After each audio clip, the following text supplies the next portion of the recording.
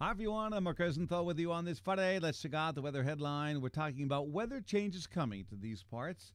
Starting tonight, tomorrow, we're talking wet weather moving in here late tonight, tomorrow. Cool Sunday, then warmer weather early next week. Here's what's happening today. Partly sunny and nice. It'll be 58 to 64. Clouding up tonight, rain late at night, lows 45 to 50. Rain tomorrow, gradually ending during the afternoon, but cool 56. Sunday, partly sunny, 55 to 60. Monday, partly sunny, mid 60s. Tuesday, sun clouds, warm, low 70s.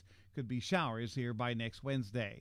That's my forecast. Thanks for checking in. Please stay tuned for updates. I'm Mark Rosenthal.